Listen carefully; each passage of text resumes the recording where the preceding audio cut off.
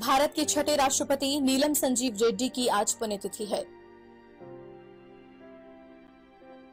19 मई 1913 को आंध्र प्रदेश के अनंतपुर ज़िले में इनका जन्म हुआ।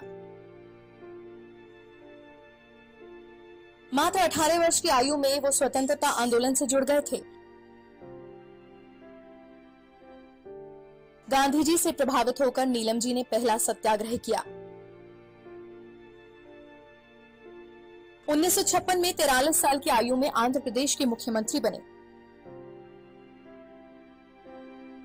इसी के साथ उन्हें सबसे युवा सीएम होने का दर्जा मिला। वो कई बार केंद्र सरकार में महत्वपूर्ण पदों पर रहे। 1964 में वो राज्यसभा के सदस्य मनोनीत किए गए। 1977 में रेड्डी लोकसभा स्पीकर बने। 25 जुलाई 1977 को देश के छठे राष्ट्रपति बने।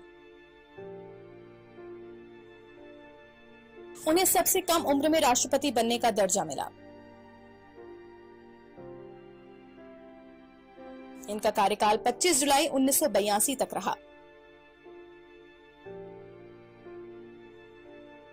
एक जून उन्नीस सौ छियानवे को इनका बेंगलुरु में निधन हुआ।